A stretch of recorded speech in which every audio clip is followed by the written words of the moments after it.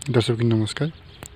हामीसँग यहाँ रायो सागको बिउ छ। तपाईँ प्रष्ट देख्न सक्नुहुन्छ यो लगभग डेढ किलो रायो सागको बिउ हामीसँग यहाँ रेडी छ र यो बिउलाई गएर चाहिने खेतीमा हामीले फेरि डबल फलाउनको लागि छर्दैछौँ। यो बारी यताको बारीमा यो सबै गरामा पुरै गरा र यताको यो गरा त्यसपछि यो गराहरू। यति बारीमा हामी यो साग छर्ने तयारीमा छु म र यो सागलाई हामीले माघ फागुन चैतसम्म बेच्ने एउटा तयारीमा छौँ र यो मटर कोसा पनि हाम्रो फागुनसम्म रहन्छ।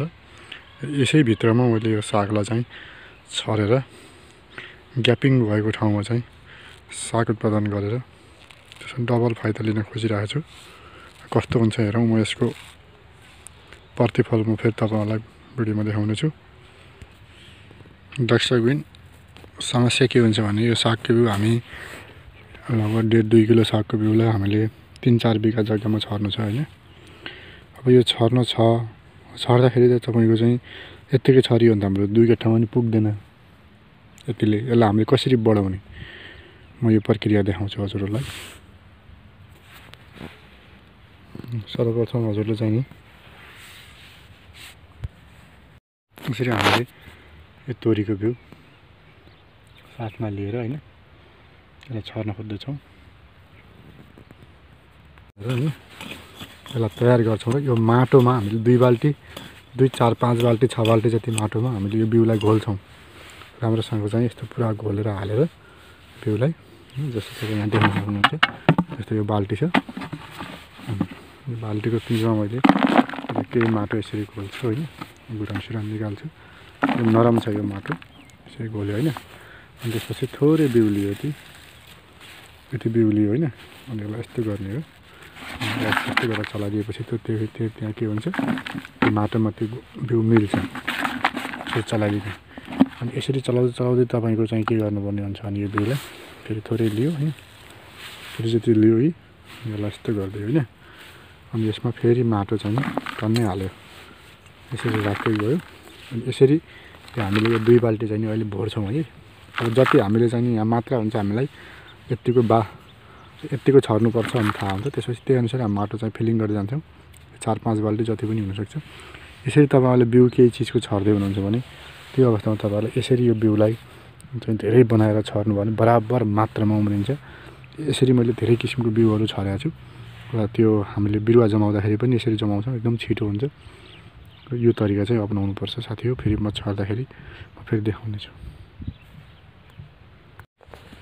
दर्शकबिन हामीले यसरी यो बिउलाई यतातिर घोलेर चाहिँ यसरी रेडी बनाइसकेका छौँ।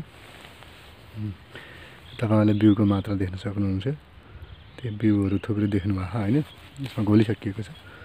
अब यसलाई हामीले यो बिउलाई हामी छर्छौँ एकछिनमा यो बारीमा पहिलो बारीमा हामीले यो बारीमा यसलाई छर्छौँ। दर्शकबिन अहिले हामी यसरी बिउ लिएर होइन यसरी छर्दैछौँ। यस्तो गरेर यसरी यसरी यो बिउलाई हामी हो बारीभरि छर्दैछौँ।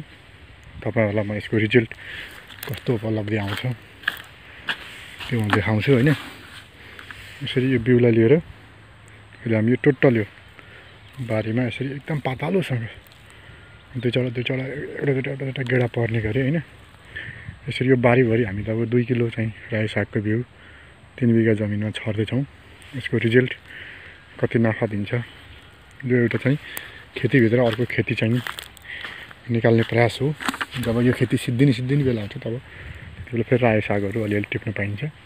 त्यसो गर्दाखेरि फेरि हाम्रो चाहिँ भाउ आयो भने राम्रै पैसा चाहिँ आइरहेको छ यसरी छरिरहेका छौँ हामी। एउटा सम्झना मेमोरीको लागि पनि हो। जसै पनि तपाईँहरूले हेर्नुहोस् काम गर्दा त्यो दिमाग लाएर गर्नुपर्छ।